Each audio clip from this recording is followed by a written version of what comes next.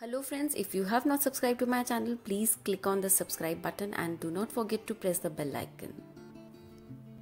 Welcome back to my channel friends, this side Sonia here and today we are going to do a nameplate. So as you can see that I'm doing it upside down. Uh, yes, in this nameplate I'm not going to keep the holes on the up for hanging. I have planned out something really interesting and I really hope that it works out. So now I need to prep up my base and for prepping up my base I am going to use white color gesso and I'm going to have good two coats of gesso on my complete plate and I'm using a flat brush so that I have a good coverage and I'm going to make sure that both my layers dry out really well so that we can move on to the next step.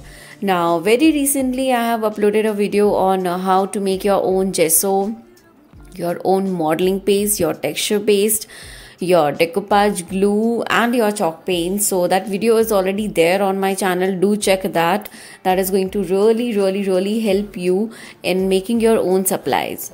Now here I am using my heat gun to speed up the dry process. And once that's done I will be doing my second layer now how much white you need for your base is completely your choice. Like i wanted my papers whatever i'm going to use to pop out really well because it has some really nice and beautiful colors and i wanted them to get a little more highlighted and um, that's the reason i'm having a two coat of gesso here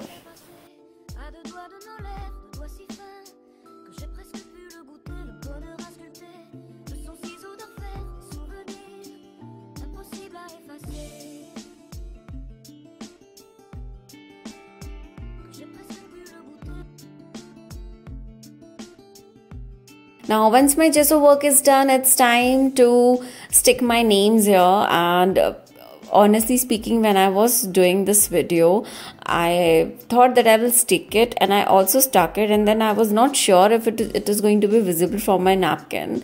So this was something which i was experimenting and it turned out really well now to stick this I am using my DIY decoupage glue the Mod Podge. So of course this tutorial is also live there on my channel that how to make your own decoupage glue. Now I am going to stick this really well and I'm going to make sure that it dries out well so that we can move on to the next step. So as you can see here, I have a beautiful, beautiful, beautiful decoupage napkin. Now I want to tell you something about this napkin. Now when I got this napkin, it has some beautiful embossing. So all the golden flowers what you see in this napkin are the embossed ones. Now in this nameplate, I could not have the proper embossing effect. Like here also you can see that this is beautiful. But I didn't know how to use it and but I have thought that I am going to work it out and see if we can have those uh, embossing decoupage napkins and let's see how it works out. Now before sticking my napkin I am removing the plies and uh, I am going to make sure that I remove all the plies and even the ply of this napkin was so beautiful it like it's like it has a golden color uh, tinge of gold embossing on it now I think I can uh, see my names with this so I am going to stick my decoupage napkin on the top of it. So now for sticking my decoupage napkin I am using my Mod Podge. It's a matte finish Mod Podge as it is going to be beneath my napkin so I don't have to use any other Mod Podge. I think this is going to work good for my project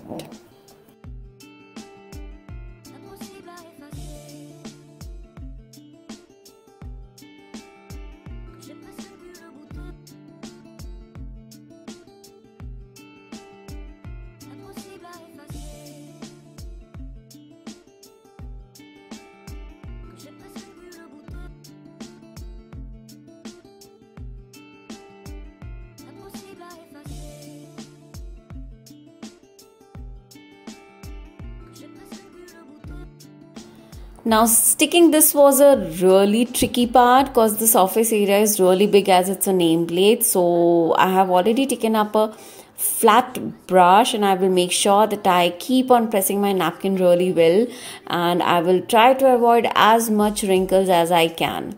So as you can see here that on each and every corner I'm pressing my brush really well and make sure you use a dry brush so that your napkin does not get damaged and it's looking absolutely gorgeous. I'm already loving the colors and the uh, way it is going to turn out.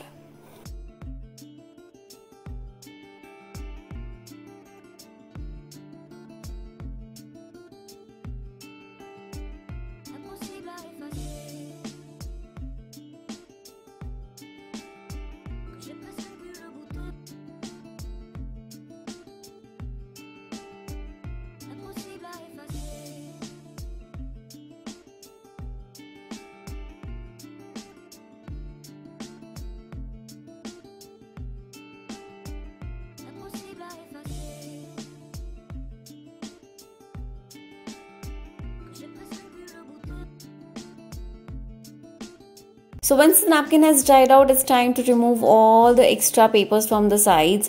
So on the back side, I'm using my nail filer and with that I'm removing all the extra decoupage napkin pieces. You can even use your sandpaper and remove the excessive paper from the sides.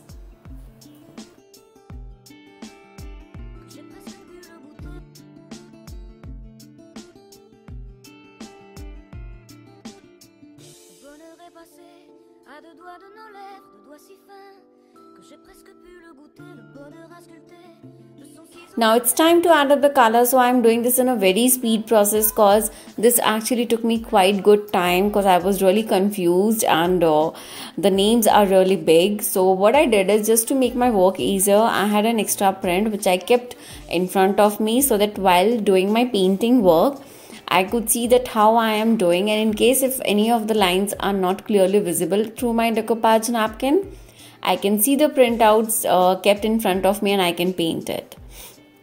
This process takes definitely a good amount of time but this is so relaxing and this is so soothing. You can always do this and uh, create some beautiful artwork. You can even do the painting work like with this process.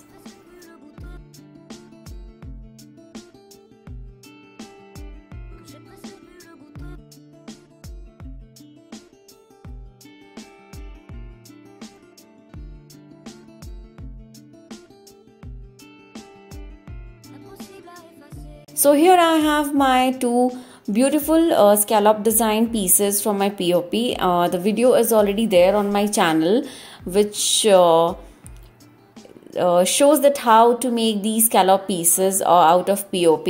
Now I am going to do decoupage on this piece and yes of course I will be using my DIY decoupage glue and I will be covering the sides of these scallops also. presque pu le goûter, le bonheur à sculpter de son ciseau d'enfer, souvenirs impossibles à effacer.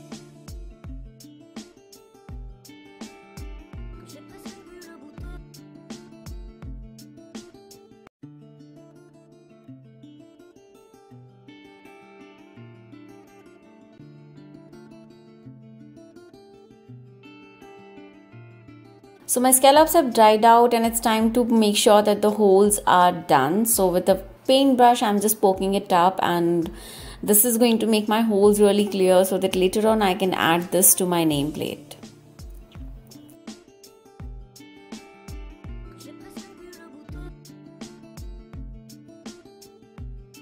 Now with another brush I'm going to make the holes of my nameplate uh, clear so that I can have my twine and I can hang these beautiful scallops and everything has dried out well. Make sure that things have dried out really well before starting this process. Now here I'm using the jute twine. This is a very nice Braided Geese uh, jute twine which I had. So I, if you don't have these you can go with the cotton threads or you can even have the nice plain uh, jute threads and you can hang these beautiful or you can create some nice hangings and have these on your nameplates.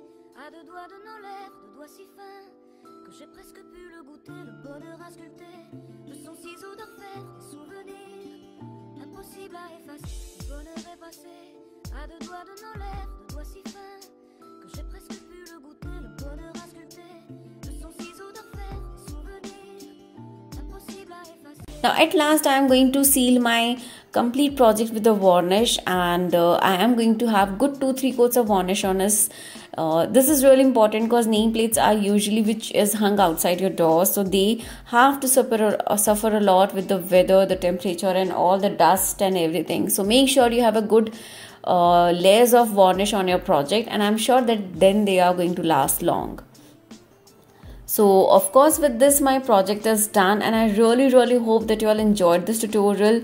If you have any queries please feel free to comment below and please do not forget to subscribe to my channel. Thank you so much for watching guys. Take care. Bye bye